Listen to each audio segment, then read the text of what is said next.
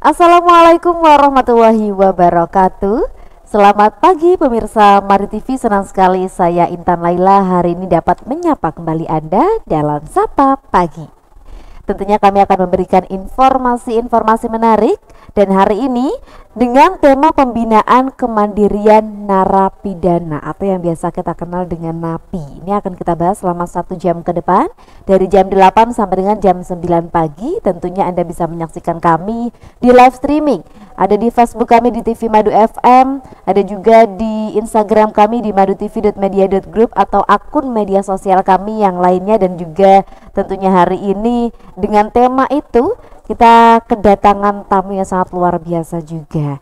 Yang pasti kita hidup di negara hukum ya pemirsa. Bahwasanya memang yang terbukti bersalah itu akan dihukum. Dan orang yang bersalah khususnya uh, orang yang terbukti melakukan tindak pidana begitu beberapa ada hukuman yang salah satunya adalah kurungan penjara nah kurungan penjara ini ada beberapa istilah yang namanya itu adalah lembaga pemasyarakatan atau yang biasa dikenal lagi dengan lapas. Ada lagi yang namanya rutan atau rumah tahanan. Nah, keduanya ini memiliki perbedaan yang nantinya juga akan dibahas oleh e, narasumber kita. Jadi terkait dengan lembaga pemasyarakatan ini dan juga pembinaan kemandirian narapidana.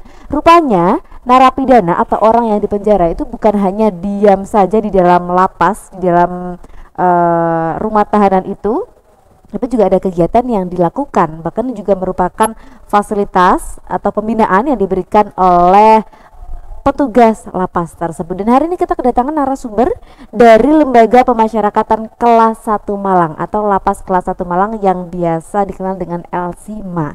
Dan yang pasti sebelum saya memperkenalkan siapa narasumber kita kita simak terlebih dahulu video berikut ini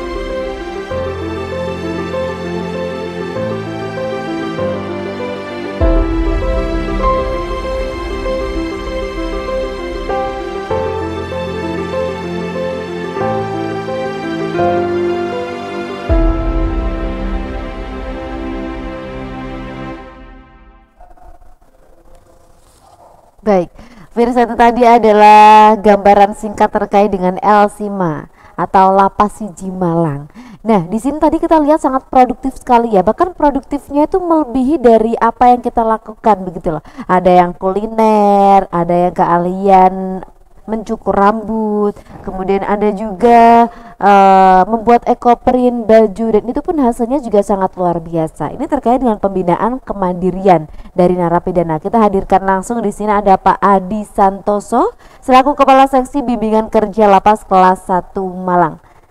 Selamat pagi Pak Adi. Selamat pagi Mbak. Selamat pagi. Iya, bagaimana kabarnya Pak Adi pagi ini? Alhamdulillah di Malang agak mendung tapi cerah.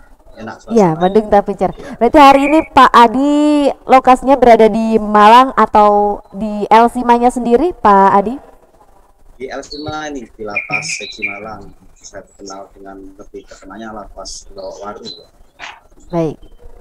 Baik, baik. Terima kasih Pak Adi sudah bersedia bergabung bersama dengan Sapa Pagi. Dan yang kedua menemani Pak Adi Santoso di sini ada Pak Maharus selaku Kepala Bidang Kegiatan Kerja Lapas Kelas 1 Malang. Selamat pagi Pak Maharus. Selamat pagi. Selamat pagi. Bagaimana, bagaimana kabarnya Pak Maharus? Alhamdulillah, ini posisi kami ada di Lapas Tuban Lapas Tuban. Sedang ya. ada studi lain atau seperti apa ini Pak Maharus? Ini sedang ada kegiatan uh, penandatanganan uh, perjanjian kinerja membangun zona integritas kita. Baik. Baik, terima kasih. Semoga lancar Pak Mahrus ya. Hari ini kita disambi dengan memberikan informasi kepada seluruh pemirsa Madu TV Nusantara terkait dengan pembinaan kemandirian narapidana. Baik, sebelum kita ke Pak Adi, kita ke Pak Mahrus terlebih dahulu. Pak Marus, ini kan banyak sekali mungkin masyarakat awam yang belum tahu. Orang mereka taunya itu adalah penjara. Penjara yang di tempatnya itu adalah orang-orang yang sedang bermasalah, orang-orang yang mungkin dulu uh, terlibat dalam kasus pidana. Tapi di sini kan ada lembaga pemasyarakatan, ada pula yang namanya rutan atau rumah tahanan. Ini perbedaan dari keduanya ini apa Pak Maris? Uh, jadi memang untuk di pemasyarakatan uh, itu ada beberapa unit pelaksana teknis yang kalian umum kenal rutan, rumah tahanan negara, kemudian lapas, selain itu juga ada rubasan dan kapas. Hmm. Untuk hutan itu diperuntukkan bagi mereka yang uh, dalam proses sistem peradilan pidana. Nah, hmm. Jadi sebelum diputus oleh putusan sidang pengadilan, uh, mereka berada di rumah tanah negara. Namun demikian, apabila putusan mereka itu uh, ringan, ya sisa pidananya di bawah satu tahun. Biasanya menjalani masa pidananya tetap di rutan akan tetapi kalau pidananya iya. itu iya, ya, satu tahun uh, mereka kita pindahkan ke lembaga pemasyarakatan. Dan lembaga pemasyarakatan sendiri juga ada kelas-kelasnya. Ada kelas 3 kelas 2B kelas 2A dan kelas 1 uh, di samping ada klasifikasi itu juga ada klasifikasi uh, lapas berdasarkan uh, peruntukannya. Ini ada lapas uh, narkotika, lapas perempuan, lapas anak, uh, lapas tipikor, dan untuk teroris. Jadi ragamnya lapas itu juga. Baik. Baik, terima kasih Pak Marus atas penjelasan awalnya. Jadi kalau untuk perutan sendiri itu sebelum diputus di pengadilan, seperti itu Pak Marus ya? Ya, kalau Baik. di rutan putus. Mm -hmm. nah, Baik. Ya, silakan Pak Marus. Namun demikian juga di beberapa kabupaten atau kota yang nggak ada rutan, uh, lapas itu merangkap sebagai rutan mm -hmm. juga. Mm -hmm. Berarti kalau Oke. untuk fungsinya sendiri lebih umum atau lebih menyeluruh lapas atau rutan, Pak Mahrus? Uh, saat ini lebih lebih banyak ke lapasnya, Mm -hmm. Karena kalau untuk lapas itu kan uh, bisa merangkap selaku rutan biasanya. Kalau rutan mm -hmm. ya uh, kapasitasnya terbatas. Mm-mm. Ya hanya Pasti. Tahanan dan pidana ringan kalau udah diputus itu harus tepatnya di lapas. Baik. Baik, terima kasih Pak Maros. Kita mendengarkan penjelasan dari Pak Adi Santoso. Pak Adi, sementara tadi kan yang disebutkan adalah rutan dan lapas. Mungkin apakah ada istilah lain Pak Maros dari penjara, lap atau cukup lapas dan rutan saja ini Pak Adi? secara normatifnya memang ada istilahnya rutan dan lapas saja. Itu yang sudah dijelaskan oleh Pak Marus tadi sudah sangat gamblang. Mungkin eh, saya mungkin hanya menambahi bahwasanya silakan. rumah tahanan bahwasanya rumah tahanan negara apa istilahnya hanya untuk titipan mereka kan titipan dari tahanan polisian, tahanan kejaksaan, tahanan pengadilan negeri, tahanan pengadilan tinggi maupun ma- mahkamah agung. Jadi berarti uh, titipan tahanan dari tahap penyidikan kan polisian ya, terus Iya. penuntutan itu merupakan tahanan kejaksaan dan pemeriksaan tadi pemeriksaan di pengadilan negeri, uh, pengadilan tinggi, mahkamah agung. Mungkin kalau pengertian lapas sudah sangat gamblang tadi sudah dijelaskan oleh Pak Marus kan begitu.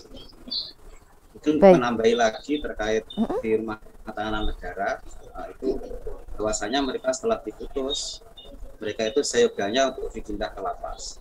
Kalau rutan menurut edaran dari Direktorat Jenderal maupun Bapak Kakang Wil Kamar Jawa Timur rutan merupakan eh, bisa di menjalani pidana mereka hanya maksimal sisa pidananya dua tahun saja Mbak.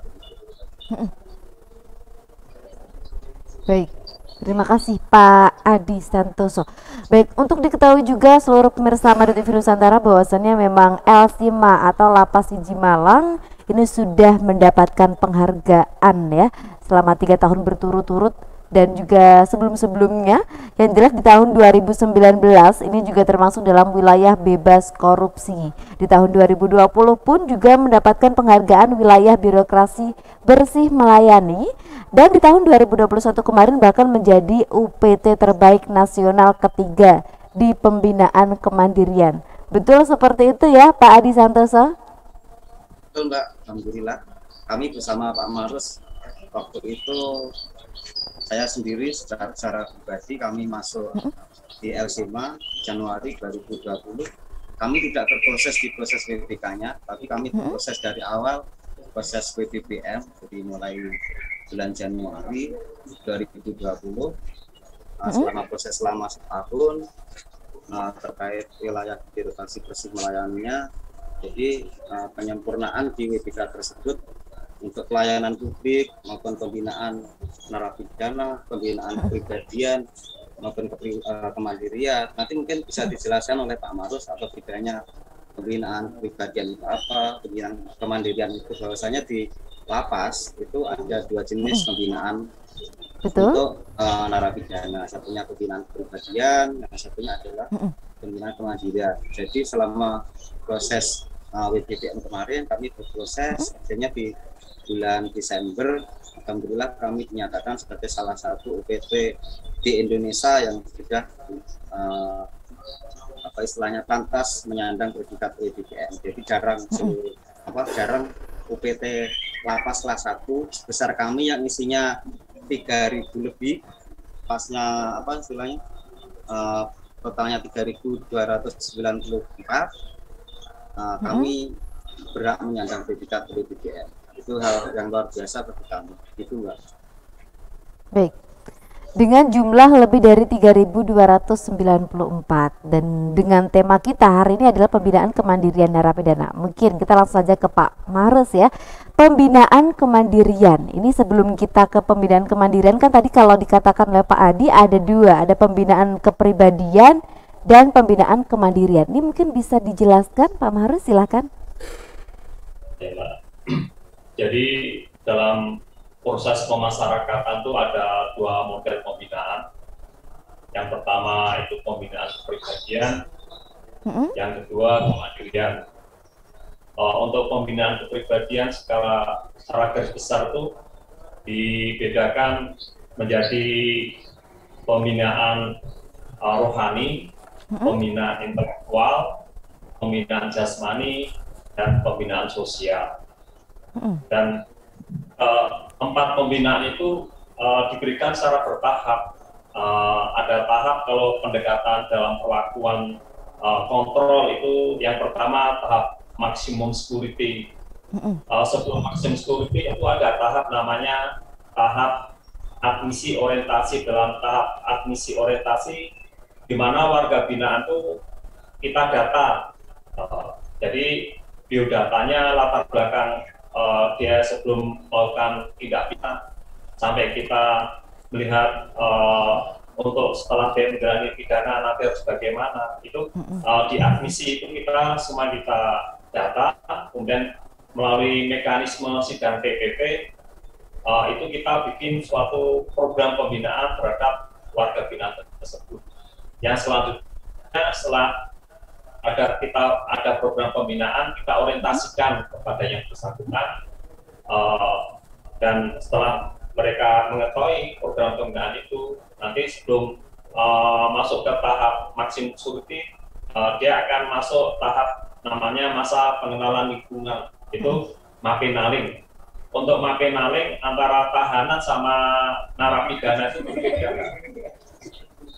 Uh, jadi mapenaling ini diperuntukkan di samping dia untuk mengetahui, mengetahui situasi kondisi tempat uh, dia ditahan atau menjalani masa pidana, uh, juga itu demi untuk apa mapping, mapping dari sisi keamanan. Jadi paling tepat nanti dia akan kita tempatkan di kamar mana, blok mana. Uh, setelah itu diketahui, kemudian baru penempatan ke tahap maksimum security tahap maksimum security itu merupakan internalisasi uh, total terkendali. Asumsi itu sebagai tahap internalisasi nilai pos uh, konsumtif terhadap warga binaan. Di mana kebiasaan-kebiasaan negatif dari narapidana itu uh, diisi dengan pola-pola kegiatan yang positif. Uh, sehingga itu menjadi bagian dari uh, perilaku atau akhirnya menjadi pribadi warga binaan. Baik, Pak Marus, mohon maaf kita harus menyekip terlebih dahulu ya. Kita sampai di tahap maksimum security ya. Nanti akan kita bahas setelah jeda iklan berikut ini untuk Pak Marus, Pak Adi dan seluruh pemirsa Mari TV Nusantara. Tetaplah bersama kami dalam Sapa Pagi.